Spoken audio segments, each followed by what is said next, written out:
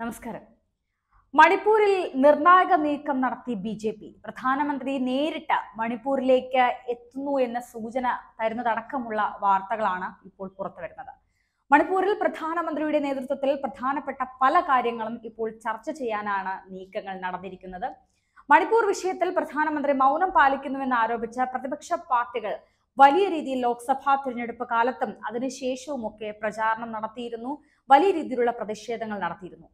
അവരെയൊക്കെ വായടപ്പിച്ചുകൊണ്ട് ഇപ്പോൾ പ്രധാനമന്ത്രി തന്നെ രംഗത്ത് വന്നിരിക്കുകയാണ്. മണിപ്പൂരിലെ സ്ഥിതിഗതികൾ ചർച്ച ചെയ്യാനായി മണിപ്പൂർ മുഖ്യമന്ത്രി ബീരേൻ സിംഗുമായി അദ്ദേഹം കൂടിക്കാഴ്ച നടത്തിയിരിക്കുകയാണ്.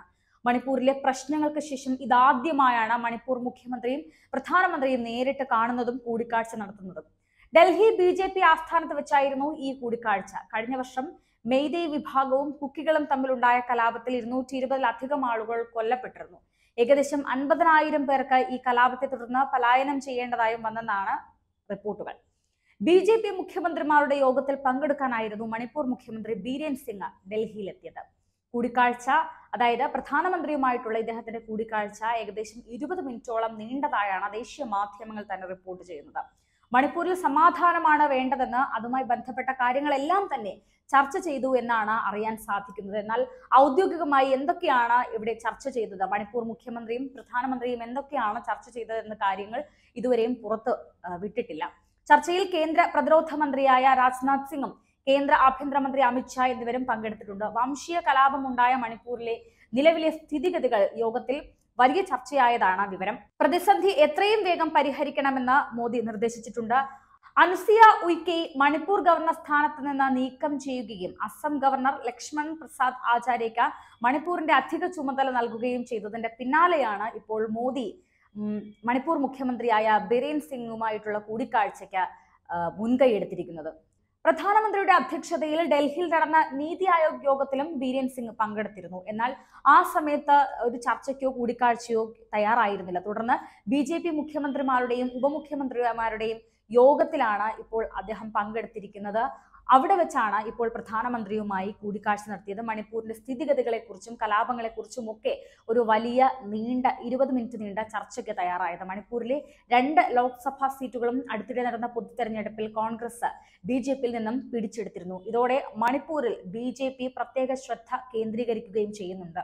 ഇതിനിടെയാണ് മണിപ്പൂർ ഗവർണർ അനുസിയ ഉയ്ക്കയെ നീക്കം ചെയ്യുകയും പുതിയ അസം ഗവർണർ ലക്ഷ്മൺ പ്രസാദ് ആചാര്യയ്ക്ക് മണിപ്പൂരിന്റെ അധിക ചുമതല നൽകുകയും ചെയ്തത്. രണ്ടായിരത്തി ഇരുപത്തി മൂന്ന് മെയ് മൂന്നിന് കലാപം പൊട്ടിപ്പുറപ്പെട്ടതിന് ശേഷം ഇത്രയും നാൾ കഴിഞ്ഞിട്ടും പ്രധാനമന്ത്രി നരേന്ദ്രമോദി മണിപ്പൂർ സന്ദർശിക്കാൻ സാധിച്ചിട്ടില്ല പ്രധാനമന്ത്രിക്ക്. മോദി അദ്ദേഹത്തിന്റെ പാർട്ടിക്കാരൻ കൂടിയായ മണിപ്പൂരിലെ മുഖ്യമന്ത്രിയെ കാണാനോ അവിടുത്തെ എം എൽ എമാരുമായി എം പിമാരുമായി രാഷ്ട്രീയ നേതാക്കളെ കാണാനോ തയ്യാറായിട്ടില്ല എന്നായിരുന്നു കോൺഗ്രസ് നേതാവ് ജയറാം രമേശ് അടക്കമുള്ളവർ വിമർശിച്ചത്. എന്നാൽ ഇതിനൊക്കെ ഇതിനൊക്കെ മറുപടിയായിട്ടാണ് ഇപ്പോൾ പ്രധാനമന്ത്രിയുടെ നിർണായകമായ നീക്കങ്ങൾ നടക്കുന്നത്. മണിപ്പൂർ മുഖ്യമന്ത്രിയുമായി കൂടിക്കാഴ്ച നടത്തിയിരിക്കുന്നത് ആവശ്യമെങ്കിൽ ഇനിയും സേനകളെ ഇറക്കി മണിപ്പൂരിൽ പ്രശ്നങ്ങൾക്ക് ചങ്ങലയിടാൻ കേന്ദ്ര സർക്കാരിന് സാധിക്കുമെന്നതാണ് ഇതിൽ നിന്ന് മനസ്സിലാകുന്നത്. ഇതിന് പിന്നാലെ പ്രധാനമന്ത്രി മണിപ്പൂർ സന്ദർശിക്കും എന്നതടക്കമുള്ള കാര്യങ്ങളിലും ഇപ്പോൾ ചർച്ച നടന്നിട്ടുണ്ട് എന്നത് അടക്കമുള്ള വാർത്തകൾ പുറത്തു വരുന്നു.